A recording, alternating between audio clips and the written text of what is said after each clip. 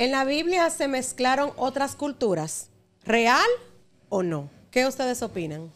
Bueno, en el desarrollo del pueblo de Israel, desde leyendo la Biblia, tú puedes ver que ellos como cultura fueron invadidos por diferentes tipos de pueblos y también ocuparon otras regiones. Siempre en, socialmente, cuando hay mezclanza de grupos humanos, siempre va a haber una asunción de un tipo de determinado de costumbre de, otro- de un grupo a otro, dependiendo del tiempo en el que interactúen. Claro que sí que hay mezcla de, de otras culturas en el cristianismo. O sea, viéndolo así. Entonces podríamos inferir, como sucede en la actualidad, que esa misma mezcla de culturas también interfirió en las creencias y, y se absorbieron muchas cosas. Durante un y se periodo de tiempo largo, asumieron sí. después para crear lo que hoy conocemos. ¿no? Sí, sí. De hecho, hay, una, hay un, un aspecto de esto muy interesante que muchas personas que ve, que en nuestro país son mayormente cristianos, desconocen. Y es que todo el mundo atribuye a que el pueblo de Israel siempre fue un pueblo monoteísta. Ok. Cuando tú lees el Antiguo Testamento poniendo cierto nivel de atención, tú puedes inferir en muchos pasajes que un segmento importante de las personas israelitas tenían otros dioses y adoraban otros dioses que no eran Yahvé.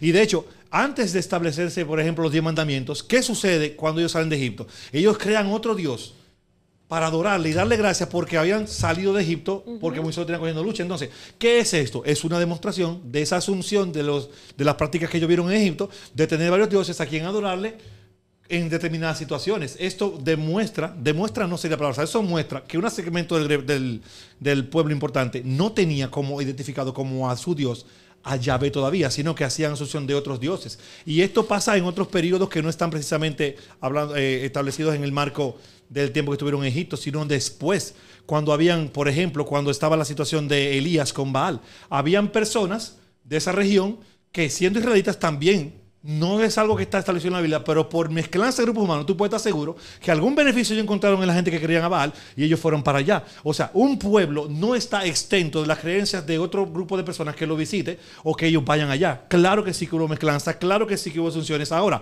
que eso todavía permanezca hoy, yo no sé. Yo, yo solamente quiero preguntarle algo y yo quiero que me ayude veloz en, en este tema. ¿En serio? Sí, hombre, porque tú, el, eh, óyeme, yo eh, conozco mucha gente con conocimientos eh, históricos, eh, teológicos, y, y siempre me sorprende cada vez que te escucho en cada uno. Él es muy bueno comunicando lo que sabe, que eso es diferente a saber. Él le felicito. Le No, felicito. No, no, no, no, no. Tu problema con tu problema, con- pero yo me sorprendo porque tú lo quieres invitar a una cena, a conversar con él, a aprender de él, y entonces públicamente quieres Yo no usé la palabra aprender. Yo no sé, yo te dije entiendo. que quiero tener Pero, pero bien, yo- esa- pero yo- de ellos. esa frase es correcta, Pero yo no, no te- no es una falacia. Ok, está bien. Esa es lo que tú Pero, dijiste, no es una falacia. ah, ¿por, por qué? ¿Por qué? Cu- Cuando hablamos de Israel, la gente siempre dice Israel, Israel, Israel, Israel. ¿Y, y cuándo nace el, el concepto del pueblo de Israel? Es, es lo, es lo primero para poder entender la pregunta. Y lo siguiente es, ¿por qué tenemos a Elohim, tenemos a Jehová y tenemos a, a Yahvé? ¿Por qué tenemos tres nombres? No, Jehová es una transliteración o, o- o sea, una Jehová es una vocalización es una del vocalización del poniéndole pero vocales. es lo mismo. Aunque yo, Para que sea más fácil la desde mi punto. Desde mi punto de vista, según los hebreos, no está bien pronunciada. ¿A pero ti nosotros ¿Qué sabemos. carajo te pasa?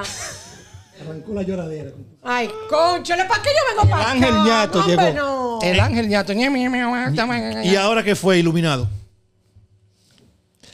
Moisés no pudo entrar a la tierra prometida ¿Y qué tiene que ver eso? y le sirvió a Dios. Así van a haber muchas personas de las que están aquí que si no se someten con Dios no van a entrar al cielo, Ok. que es nuestra tierra prometida actual. Gloria a Jesús. Gracias, Padre amado. Pues estamos de acuerdo. Pues estamos de ¿Alguien me puede aterrizar? Porque estoy... Él. Emi- Emi- él vio el cuando yo, futuro cuando era, cuando yo era muchacho le decían de que hay que ponerle los rayos. Que era- Dije que hay que ponerte los rayos, tío. Gracias, papá Dios. Pero, por favor, lo lo que te decía. Por favor, el velo, señor. por favor, velo, sí. Pero cuidado si me cae moco ahora arriba. que esto- esta lloradera. No sabe. Oye lo siguiente.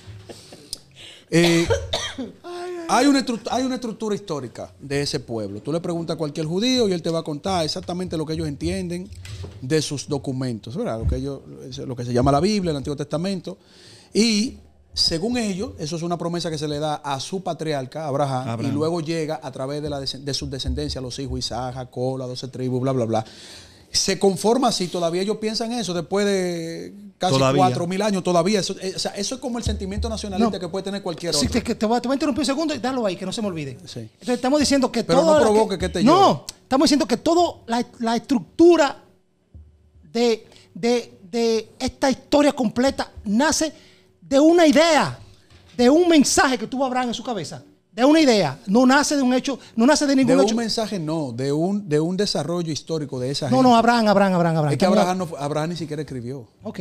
¿Entiendes? O sea, lo que yo te estoy diciendo, lo que ellos tienen como reconocimiento en esa conformación de ese pueblo. Eh, pa- vamos a partir por ahí porque esa fue la Claro, pregunta que tú claro, hiciste. claro, y es O sea, yo importante no te- para la yo no- audiencia. Yo no, me puedo poner a inventar como tú, yo tengo que decirte lo que dice historia. muchas Entonces, gracias, gracias. Ahora, No importa, no importa. ¿qué di- qué lo- qué- qué- ¿cómo lo abordó Grullón? Grullón eh, en, el- en- en- en la forma tiene razón. Ahora, en el fondo hay que, hay que estructurarlo un poquito más, profundizarlo un poquito. Mira qué pasa.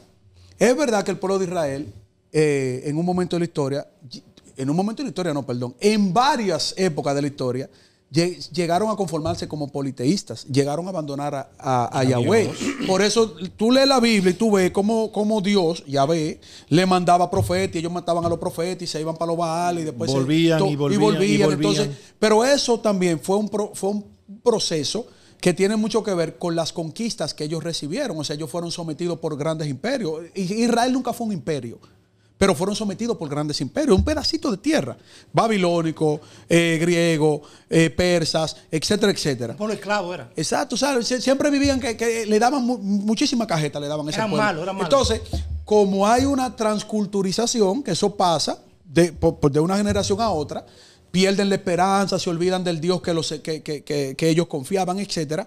Eh, una gran parte del pueblo pues dedicó esa confianza porque se desarrolló en una cultura X. Eso pasa en todas las culturas, en todos los países, que, que vamos recibiendo transculturización. Ahora, el sentido en la Biblia es que la Biblia, todo lo que te narra de eso, porque eso lo sabe Grullón porque lo leyó en la Biblia, también no porque se lo dijo un pajarito, fue porque lo investigó. Todo eso es una revelación para que ese mismo pueblo sepa todos los errores que ellos cometieron. Entonces, cuando a ellos le hablaban de Baal, más adelante tú ves un texto y Yahvé dice, no adoren a los Baales. Eh, más adelante, y entonces se fueron a, a- a- a la diosa tal, al dios tal. Por Y- revelación no sería, sería histórico, porque Bueno. quedó redactado, o sea, y, y la gente lo vio y lo escribió. O sea, lo que pasó con Elías Bueno, ¿cómo no fue un cuento. Lo que pasa que Ellos yo lo te- escribieron. Yo te tengo que responder desde mi cosmovisión. Ok, ya entendí. te- después tú me, Ya entendí, tú, tú no, me ya dices entendí. desde la tuya. Revelación, porque entendemos que ese mismo Dios es que le está diciendo a ellos, miren, ustedes se apartaron, vuelvan. Ustedes están haciendo esto, no lo hagan. Ustedes están adorando dioses, no lo hagan. Pero esos dioses quedan registrados ahí. Incluso los mismos, los mismos israelitas cuando escribían, utilizando un término en arameo, usaban el nombre de Baal para referirse a Dios. ¿Por qué? Porque ellos daban... En ese, en ese contexto cultural ellos daban los mismos, las mismas atribuciones que supuestamente tenía Baal para decir, no, no, no, nuestro Dios es más poderoso. Este Baal es más poderoso que el tu Baal, porque Baal es un conjunto de deidades. No un solo, un conjunto. Era como una liga. Igual como que una los- liga, eh, igual que los varios Elohims, dioses. igual. O sea, los Baales, que se dice, o sea, hay un Baal mayor, un Baal menor, etcétera, etcétera. Por otro lado, que yo vi que metieron la pata en un programa, yo revisando cómo era el panel, y un panel muy bueno, porque están metiendo mucho la pata, pero para eso yo estoy aquí para ayudarlos.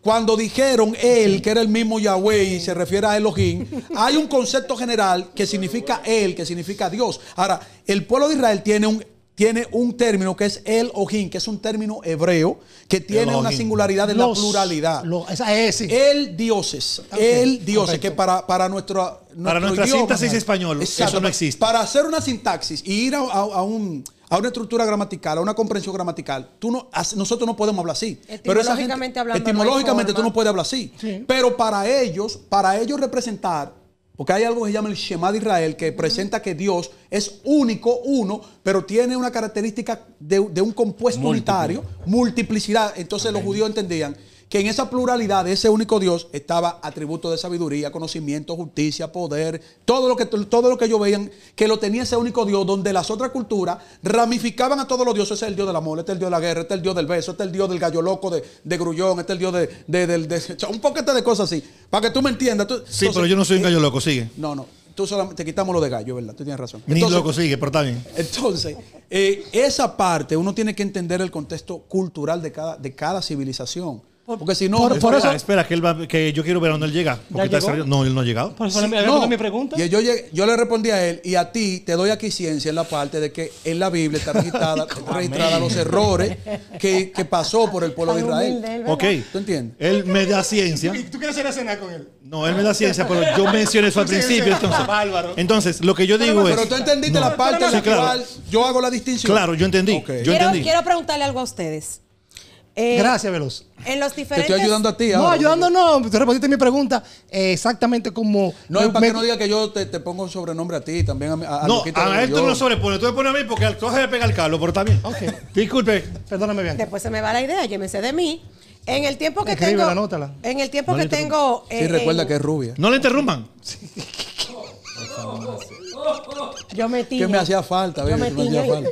Ok, yo me tiño. Y tanto que tú. Yo me tiño, bien. Y tanto que tú le dices, yo quiero Tanto veloz. que yo me veloz. Y tanto tan que tú que yo soy. Dice que me hace falta veloz. Este veloz, toma veloz. No, porque yo nunca había venido. ¿Cómo me va a hacer falta si nosotros ninguno de los dos Veloz te está poniendo rápida. te quedan- verdad- te en quedan verdad 10 a mí me hace- minutos para mí me hacen llorar. falta los boches de Bibi. Te quedan Los 10 mejores minutos. Yo le el unos boches en el aire, ustedes me los han llevado. Pero, ok. Sigue. La pregunta para ustedes. pregunta. La pregunta para ustedes dos. En el tiempo que tengo aquí en Dejen el Relajo, algo que he aprendido es que cada quien percibe, y te lo pregunto también a ti sobre todo, porque me hablaste de que tenías muchos conocimientos psicológicos. Cada quien percibe a Dios desde su propia Concupiscencias. Te aprendiste, esa, te aprendiste esa palabra, muchacho. Y tú te has vuelto loco. Tú tenías media hora pensando, ¿qué era lo que voy a decir? ¿Qué era lo que voy a decir? Está bien, señor, no le he dicho concupiscencia. Tiene ahí pues, Ok. maquinando. Se te ven los ojos eso, la concupiscencia. Como que cada quien, eh, dentro de, de cómo percibe a Dios, tiene que un poquito de su cultura, de, de- de su origen, de dónde viene. De hecho, en varios programas hemos hablado de que los rabacucos siempre están en los estratos más pobres eh, y en los barrios más marginados por X. Es, búscalo en los programas de atrás. Ahí está. Es posible que las diferentes descripciones de Dios en la Biblia se vean influidos desde, desde el punto de vista de quien está narrando la historia por la misma transculturación y experiencia que tuvieron con todos los pueblos que circundaban al pueblo de Israel. Si tú lo ves desde una perspectiva sociológica humana, es así. Sí, es así. De hecho, tú lo puedes notar en que hay atributos diferentes al, al mismo Dios judío cristiano, o sea, al mismo Yahvé. Hay atributos un tanto diferentes en algunos periodos diferentes te del, y hay- del hay gente que Testamento. piensa- Ah, mira, sería bueno gente que tú presentes un que- ejemplo de ah, eso. Hay gente que cree que, hay dif- eh, que, que son diferentes dioses que se narran en la Biblia. Óyeme, el resumen Me gustaría histórico. escuchar un ejemplo el de re- óyeme, el resumen más importante que tenemos de- del conjunto de acontecimientos históricos que pasaron en diferentes culturas que no tienen que ver nada con el pueblo de Israel, que no tienen que ver absolutamente nada, se encuentra en el Viejo Testamento. Ahí tenemos un diluvio que no tiene que ver nada con el diluvio, que no tiene que ver nada con el diluvio. Ahí sí, tenemos pero que, Acona, tenemos diferentes historias. Claro que sí. No, Sí, pero, pero ella acá- dijo, ella dijo, ese fue el tema que ella dijo. Sí, pero Acona. Acona, discúlpame. Si tú no vas a, a decir algo que, que aporte y valga la pena, déjame que él me responda la Pero pregunta. una pregunta, Que me- que me- una que me pregunta, una responda la pregunta. de que Pero los fue- de pero- cuál es pero- la- cuáles son Un atributo diferente, por ejemplo. diferentes, Pero ese no, era el exacto. tema, ese era el tema. El tema era, el tema era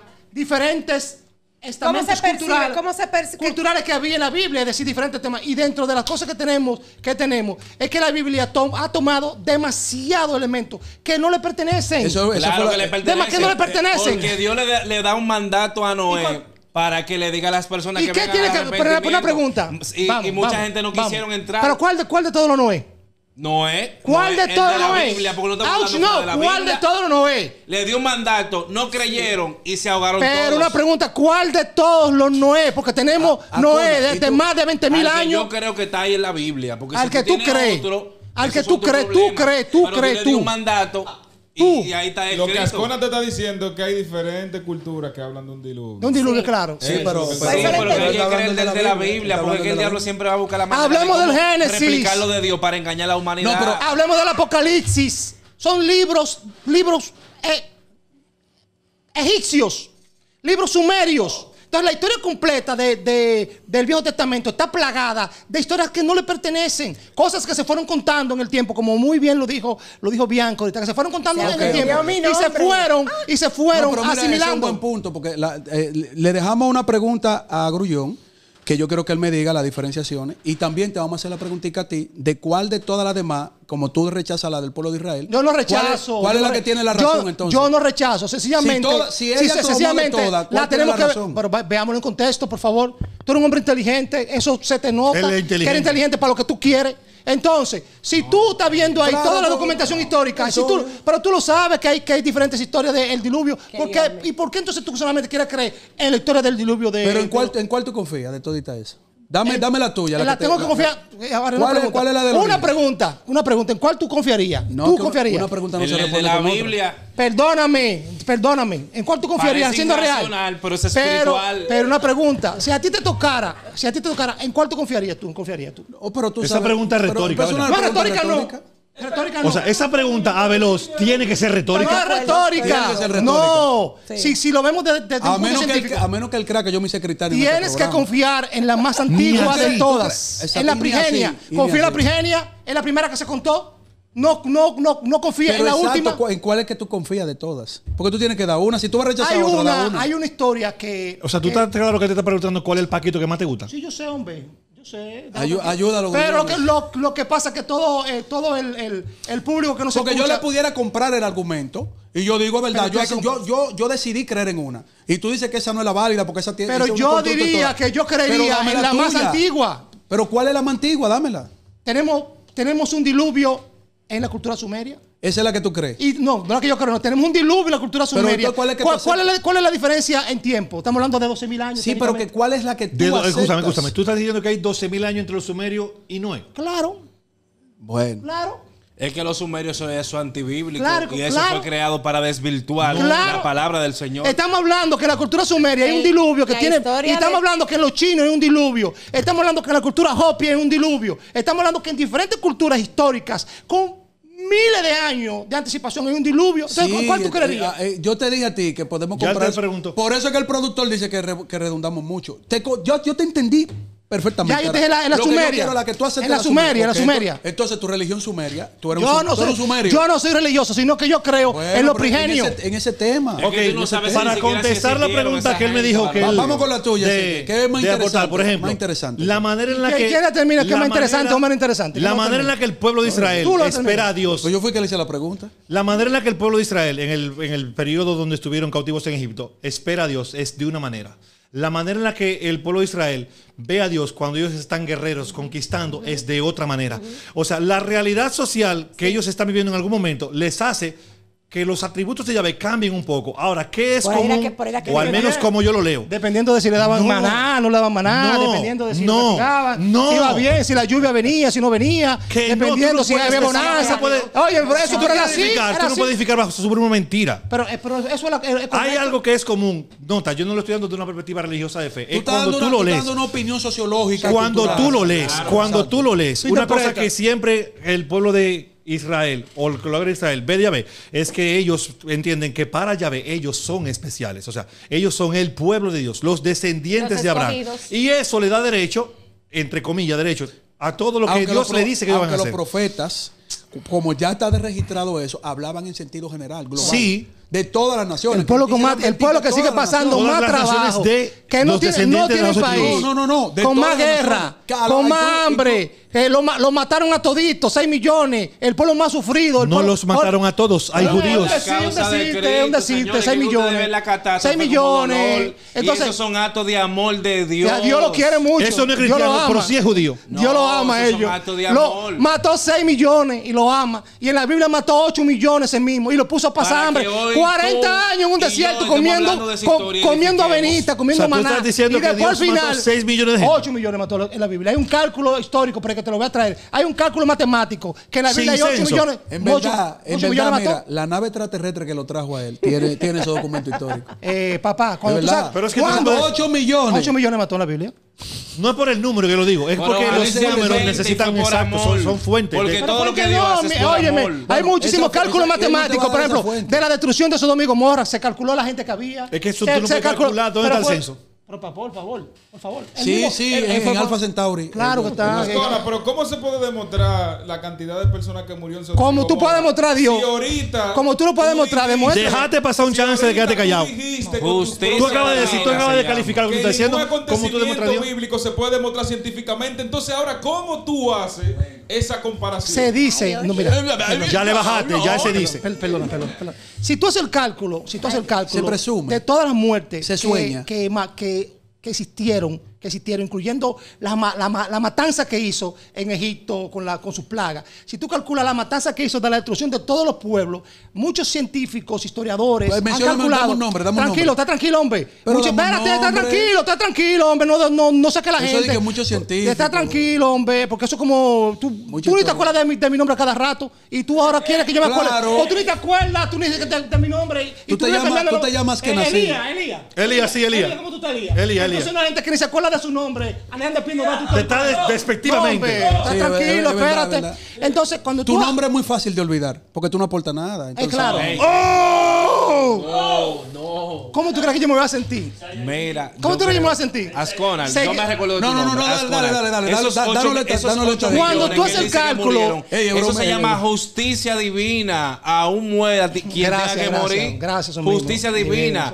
¿Por qué murieron esas personas? Por que- consecuencia del pecado. Vuelvo y hago la pregunta. haz la pregunta para que dé los ¿Cómo se científicos. Consecuencia del pecado, estamos algo muy bonito y todo? Ahorita negamos que científicamente ningún acontecimiento bíblico sucedió. Pero no. No, no, no, no, no, no, eso no fue lo que se dijo. Ahorita. Lo que se dijo no fue se que tú no puedes demostrar científicamente ningún Pero conocimiento del dando pasado. números. Está dando números. Está dando números, entonces... Eh, o sea, él es un prorrateo Estamos, estamos diciendo, estamos diciendo, estamos, estamos diciendo. Él que está sí- respaldado por la NASA, los científicos. Es lo que tiene que dar los nombres a los científicos y, y- y- y- y el prorrateo estadístico. porque ahí está la ciencia. Tú pones, tú pones a prueba mi fe. Le pasó. Él tiene fe. le, pa- le pasó lo mismo En este momento, en este momento Veloz dice, ¿en quién está puesta tu fe? Exacto.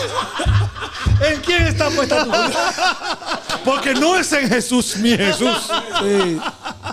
Yo lo que sé es que dos mil años después de esta historia que se han inventado, todavía seguimos matándonos en la franja de Gaza y todavía seguimos luchando por un pedacito de tierra que no le importa a nadie, solamente a ellos y los gobiernos. Y el mundo co- completo sigue invirtiendo millones y millones en armamento para una guerra que no tiene ningún sentido Para y que, que no va a se llevar cumpla el a ninguna propósito nada Dios. nombre de la mal llamada. Para que se cumpla el propósito fe. de Dios. Y yo sigo apoyando todo lo que está pasando para que se cumpla la perfecta voluntad de Dios. Ya, yo creo que hablé suficiente. Yo. Y esto fue, dejen a Ascona tranquilo.